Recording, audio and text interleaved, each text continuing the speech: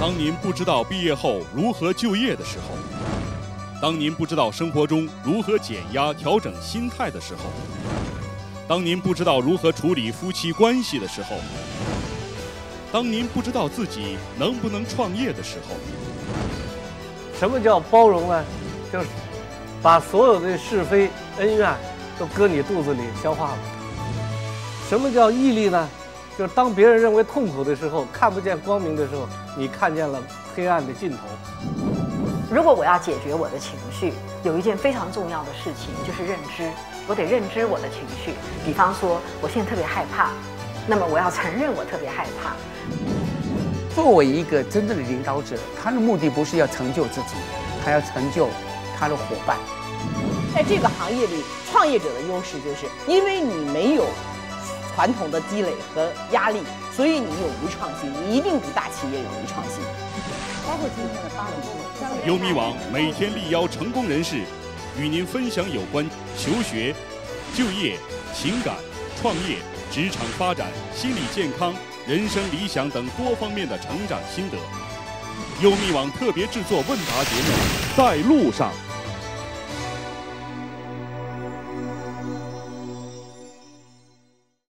夏华伊文企业集团董事长，一个专为男人缝制顶级服装的美丽女人，一个把全部精力倾注于关怀男人情感的智慧女人。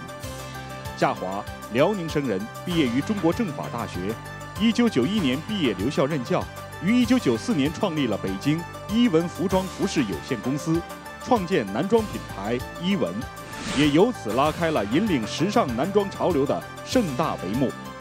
本期节目，夏华与您共同探讨怎样在创业中迈过最难跨越的坎，如何选择好适合自己的领域去创业。选择这个问题，两个因素都非常重要，叫行业机会加自身优势，就是。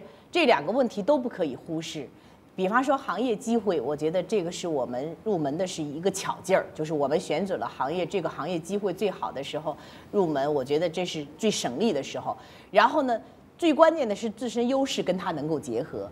你比方说，很多人一创业选房地产，我就经常会问他问题，我说那你有什么？对吧？你有很好的人脉能拿到地，还是你有特别大的资金？我觉得你对一个创业者，我觉得这不是创业者首选的行业。有这么多这个上市以后套了资金的，等着去去进入的行业，那你在这个行业里真的就没有太大优势。他无论人脉关系，还有基础，还有资金都比你雄厚的时候，你博赢的机会很少。所以我觉得创业者反而应该选细分化的行业，甚至传统行业里边略带创新色彩的行业。你比方说，我选择服装，到今天也认为是一个非常非常好的选择。衣食住行，它永远是一个人们永远缺不了的。无论怎样的政治环境和怎样的经济环境的情况下，那个都是他生活的必需品。而在这个行业里，创业者的优势就是因为你没有传统的积累和压力，所以你勇于创新，你一定比大企业勇于创新，对吧？我本来就没有那么多存货的包袱，我本来也没有那么多原有的顾客的这种需求来限制你，我想做什么都可以。所以这个时候在细分的时候，你反而有很大的这样的创新的机会的时候，你容易赢，容易走出来一条跟别人不同的路。我觉得很重要的是，你把自身的优势看清楚，然后在这个时候选一个你能驾驭得了的，然后又能够去显出你创业者的优势本色的这样的一个。这个机会，我觉得是最好的。我觉得真正的创业者是要在有钱的人懒得去干的行业里寻找机会。有钱的人他会去选择最便捷的投资方式，快速的增长。我觉得你搏不过他的，那反而是在他未必去关注的，然后去选一些相对于。呃，非热点竞争的行业里去寻找自己的热点机会，我觉得这是创业者要思考的问题啊！我不建议去寻找当下最热门的，我觉得那那个，嗯，如果大家都盯着的，我觉得你一定不是最容易赢的地方。如何才能在创业中把做与想相结合？从你记事开始，想的和做的永远都不会一样的。我觉得从懂事开始，你就在憧憬中去度过的。读什么样的学校啊？变成一个什么样的人呀？我觉得其实想永远是有无限的空间的，而你生活在一个真实的空间里，你做每一件事的时候，你都会觉得那跟想完全不一样。我觉得每一个女孩都做过白马王子的梦，但是当你面临一个真实的男人的时候，那你就会觉得，哎，可靠就好，然后这个爱你就好，你会把它变得很真实，很真实。所以我就觉得，其实创业亦然，就是想和做永远是不一样的。我觉得想得好不是坏事儿，想得高不是坏事儿。我觉得只有那个有憧憬，只有那个梦想能够去，才会给你无前行的力量。我觉得这个都是好事儿。但是做的时候，我觉得要脚踏实地。我到今天也跟我身边的所有的。员工或者好朋友都分享这样的一句话，我觉得其实你只有把一件小事做好了，你才有机会把大事做成。我觉得做的时候你会发现每一件事都不像你想象的那么容易，但是成功就是那一件一件小事的累计，然后你突然一回头发现自己干了这么大的一件事儿，所以我就觉得在这一个点上，我觉得想和做其实永远都不会在一条线上，它就像生命的，就是两条。完全高低不同、错落的轨迹。我觉得梦想是你的驱动器，然后我觉得行为是你成功的基石。一个在脚下，一个在天上。我觉得这两条线是让我们走向正确的方向和走向成功的一个人生最好的轨迹。如何才能在创业中放下自己的身价？谈起创业，都说它是一个建立的过程。其实我觉得对自己其实是一个破坏的过程。就是假如你曾经是明星，那你可能就要隐去明星的光环，然后去变成一个幕后。然后从创业的那一刻起，假如曾经你更多更多的思考的是自我，那这一刻其实就是放弃，就是你更多的是筑巢去引来别人，然后你把。别人捧红，然后你的事业就开始变得大。假如说我们做出一个非常漂亮的珍珠项链，其实创业者就是后面那条线，就是把那些珠子穿起来的人。所以创业有着太多的放弃、颠覆。我觉得今天谈创业，我特别希望给要创业的朋友一些特别真实的感受啊。光脚的不怕穿鞋的，这是一句很通俗的话。就这个时候，其实你把自己降到最低。每一个人其实，在有创业的心态的人。其实都有一个最大的问题是自信。其实不自信，你也不会想到创业。但是自信其实就很难让你把自己放到最低，就什么也不是。所以我当时给到自己，你反正什么也不是，反正你一无所有嘛，对吧？最差最差了，你不还这样吗？然后还是好汉一个嘛，赚钱吃饭生活嘛。所以我觉得大不了了，也就像今天这样从头再来过嘛。所以那个时候，我觉得最重要的是有了这样的一个什么都不是的心态。我觉得把这个心坎放得平平的时候，我觉得把心放平到今天，我也认为这是我经常跟员工说的一句话。其实我们要做好一件事儿，最快乐的做好一件事儿，最好的办法，把心放得平平的。你什么都不是，你不要去在乎别人怎么看你，你就是你。这种心态和激情决定了未来你赢的是，就是你能有多大的把握赢，这非常非常重要。那个是一种巨大的力量，你可以感染所有的人。所以我觉得那个时候。你真的是可以创造奇迹。包括今天的八点。优米网每天力邀成功人士，与您分享有关求学、就业、情感、创业、职场发展、心理健康、人生理想等多方面的成长心得。我觉得人生其实就是一个隔绝与吸收的过程，就是什么东西好的，你要能够特别学会快速吸收；然后什么东西不好的，你要能够形成自动隔离。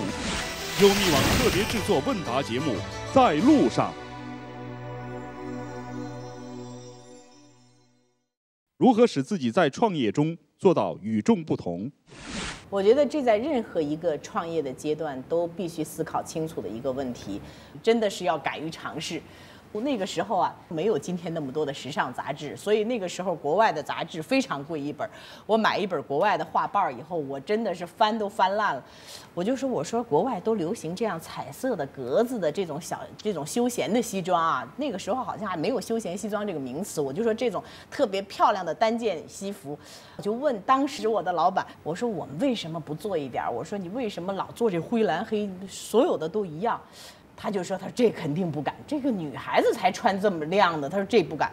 那个时候啊，全是一根杆儿一根杆儿的卖货。我所服务的这个品牌有二十多根儿。我后来我就开始动员他，我说你能不能挪出四根儿来，然后你你做一下这样的东西。完了，他说我不敢。我说要不这样，我试试。我说这个要是赚了呢，我们一人一半分；要是赔了，算我的。他说那就试试吧。然后我就。”到了当时的北京毛纺厂北毛，那个时候是唯一有出口配额的毛纺厂。所以我就拿着画报去，我说我就想要这样的面料。然后那个销售科的科长一下子拍拍大腿就就高兴了，就兴奋了，说为什么？说这没出口配额，我们出不去，压了库里边。他说真没人要。这他说你要要我特别便宜就能给你。然后我就把他拉到当时的一些。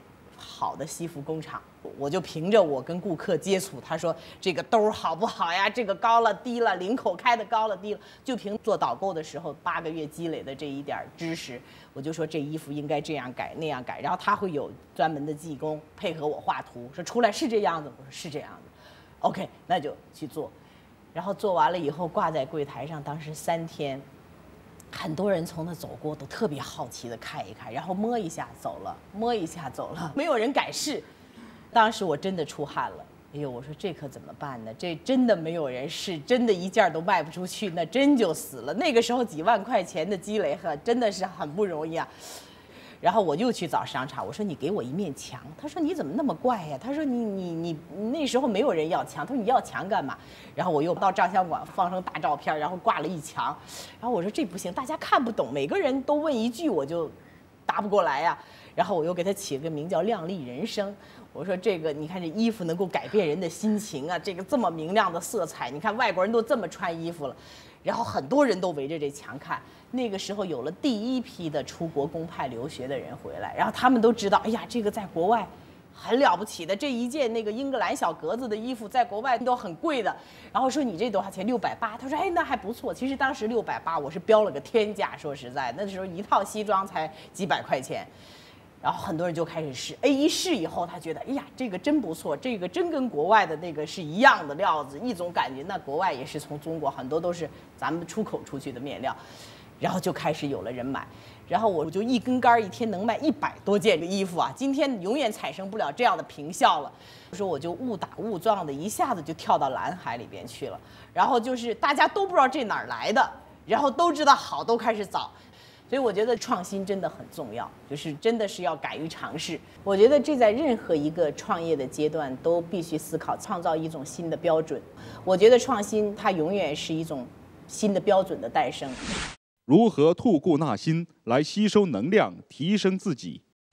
我们每一个人的生命都是有极限的，就是现在说百岁老人很了不起了，活到八十岁，但是你要想活二百岁怎么办？你不可能有机会从生理上活二百岁。那么我们吸收不同的人生经验，你就能够活两两个你这样长的一个倍数。所以我觉得人生其实就是一个。